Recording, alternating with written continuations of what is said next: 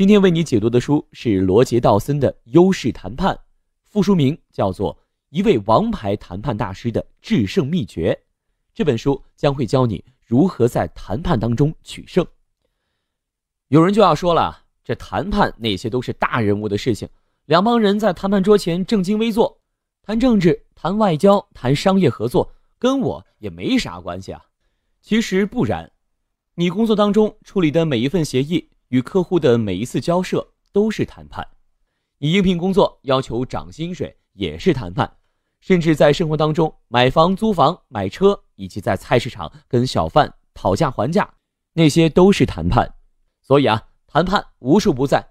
实际上，任何时候，当你需要跟另一个人面对面严肃讨论事情的时候，你就是在谈判。那么，谈判的最高境界是什么呢？你不但要赢得谈判。还要让对方觉得他也赢了，让他对结果很满意，非常希望和你继续合作，甚至迫不及待的想和你再谈一次。本书作者罗杰·道森的优势谈判技术，就是要让你做到这一点。说到罗杰·道森啊，他有太多的头衔了。他是美国前总统克林顿的首席谈判顾问，是美国权力决策机关里的高级参谋，他是大学教授，是地产公司总裁。是演讲大师，是谈判训练大师，等等等等。他参加过很多有名的谈判，比如巴以和谈、巴尔干冲突、莱文斯基性丑闻案、美国总统弹劾案等。在美国，罗杰·道森就是政治谈判领域的一座高峰，让任何妄想超越的后来者都胆战心惊。罗杰·道森呢，在商业谈判界同样具有举足轻重的位置。如果你问，是谁训练出美国最多的销售主管和职业经理人？答案只有一个，那就是罗杰·道森。罗杰·道森被福布斯评选为全美最佳谈判教练。如今活跃在国际商场上的跨国企业的谈判高手，许多都是罗杰·道森的弟子。《优势谈判》这本书一出版，全球的发行量就很快超过了一千万册，并连续数周占据《纽约时报》畅销书排行榜榜首位置。入选耶鲁大学、普林斯顿大学等美国名校的指定阅读书目。《优势谈判》这本书有三十五万字，今天我会用大约三十分钟的时间，分两部分来为你讲解书中精华。第一部分，优势谈判的原则和技巧；第二部分内容是三类不道德谈判的应对方法。我们先来说说第一部分，优势谈判的原则和技巧。一次完美的优势谈判是由三个部分组成的：开局、中场。终局，我们先来说说谈判的开局。在开局谈判当中，有三项原则：第一，开出的条件要高于自己的期望值；第二，让对方首先说出自己的条件；第三，学会感到意外。在和对手谈判之前，你心里面会有一个想要的结果，这个结果呢，就是你的期望值。那么，当双方开始谈判了，你开出的条件一定要高于你的期望值。我举一个简单的例子啊，你一下就懂了。比如一个东西，你想要卖二十元，就先报价三十元。反过来，你看到一个东西想二十元买，你就问十元卖不卖？很多人害怕对方接受不了自己的报价，担心被看作是没有诚意，所以呢，不敢报一个让对方喷饭的价格。出于这种心理，他就会主动降低报价，一开始就给一个让对方完全可以接受的价格，这就错了。罗杰·道森说：“谈判刚开始一定要来一个狮子大开口，原因很明显啊，它可以让你有谈判的空间。如果你是卖方，随时都会有机会降价，但是很难把自己的报价再抬高。同样道理，如果你是买方，随时可以提高报价，但是对方一旦同意了你的报价，再压价就很难了。还有一个原因，开出更高的条件可以大大提高你的产品在对方心中的价值。”如果你在申请一份工作，开出更高一些的薪资要求，会让对方感觉你是一个有能力的人。如果你在卖一幅画，开出比较高的价格，对方很可能就会觉得这幅画的确值这么多钱。需要提醒的是，开出条件之后啊，一定要让对方感觉到你的条件是可以商量的。如果对方觉得你的条件太高，而且一点回旋的余地都没有，他就不跟你谈了。比如你在购买一处不动产，你可以告诉对方，二十万美元的报价，从你的角度说呢，似乎是一个合理的价位。可是根据我的调查，我可以接受的价位应该是在十六万美元左右。听到这里啊，对方可能会想，这家伙的报价少太多了，但听起来还很有诚意。哎，不妨坐下来跟他谈谈。你看，话里留点余地，既来了个大砍价，又让对方愿意跟你接着谈。既然决定了要开出一个高于期望值的条件，那么条件的度应该怎么把握呢？通常情况下。对方开出的条件和你的期望值会有一段距离，那么你开出的条件也可以跟自己的期望值保持同样的距离。比如，汽车经销商报价一点五万美元，你期望的价格是一点三万美元，差距是两千美元，那么你的第一次报价也可以与一点三万美元差两千美元，也就是报价一点一万美元。无论是大事儿还是小事儿，我们最后呢都可以得到折中的结果。但是这个结果有个前提，那就是一定要让对方首先说出自己的条件。这里呢就涉及到一个谈判的专业术语——钳子策略。顾名思义，钳子策略就是用钳子，比如你的语言，把对方的思想给夹住，让对方的思路跟着你的钳子的方向转动。那怎么把对方夹住呢？第一，在听了对方报价之后就闭嘴，静等对方的下一步动作。第二。绝不报出具体的价格。山姆是一位球员，他期望年薪是八万美元。在和一家俱乐部谈判的时候，经理开出了八点五万美元的年薪。山姆呢没有说话，经理以为啊他对这个薪水不满意，随即就提高到了九万美元。经理看球员还是没有反应，不禁问他：“你的期望薪资是多少？”山姆还是没有给出具体的数字。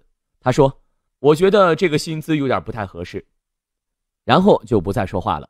经理最后说：“十万美元，这是我能开出的最高价格了。”你看，在谈判时，首先开口报价的一方，往往就会被对方钳制住，落入下风。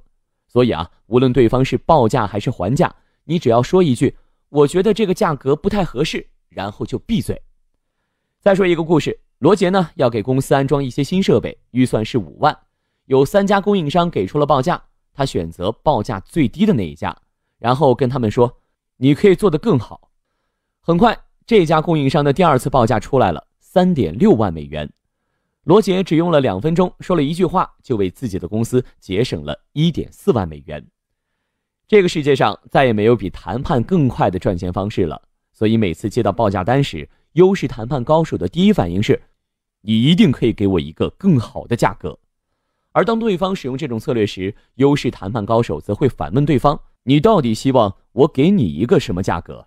总之，他绝不会首先说出一个具体的价格。